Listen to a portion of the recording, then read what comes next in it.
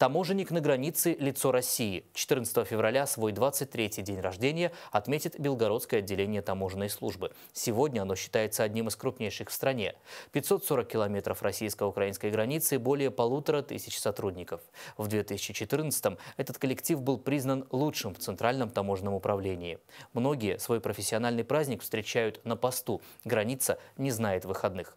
С пункта пропуска Нехотеевка репортаж Натальи Войтенко.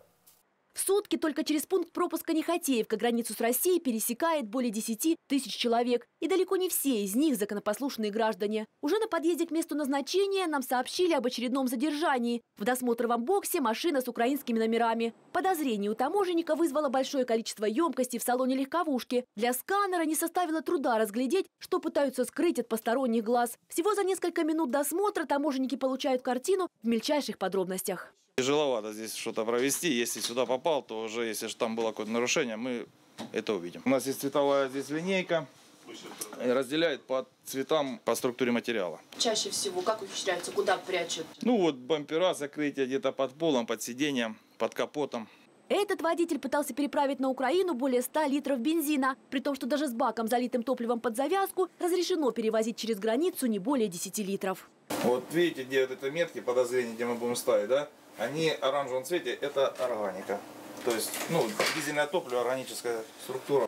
По словам таможенников, в последнее время такие ситуации не редкость, ведь топливо в сопредельном государстве вдвое дороже. Пытаясь сэкономить, люди идут на уловки, то приваривая гнище авто дополнительные баки, то разливая бензин в пэт-бутылки.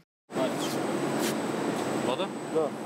Закон есть закон. Провоз такого литража – это административное правонарушение. В прошлом году таможенниками Нехотеевки было задержано более 15 тонн контрабандного топлива. В самых сложных случаях на помощь им приходят собаки. Они заступают на дежурство вместе с инспекторами, как и они проходят переаттестацию и как полноправные сотрудники имеют свои выходные.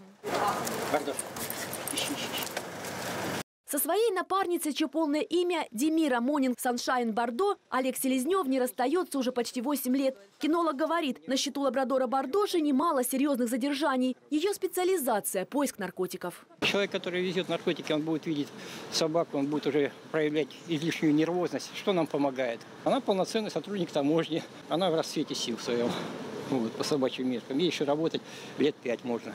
Ультрасовременные досмотровые комплексы, кинологическая служба, автоматизированные системы контроля. А ведь буквально два десятка лет назад в руках у инспекторов был только щуп и зеркало, вспоминает начальник пункта пропуска Нехотеевка Сергей Завгородний. Но и тогда, и в век высоких технологий на первом месте были и остаются профессиональные качества сотрудников. Никакие средства идентификации и таможенного контроля не заменят человека, на мой взгляд.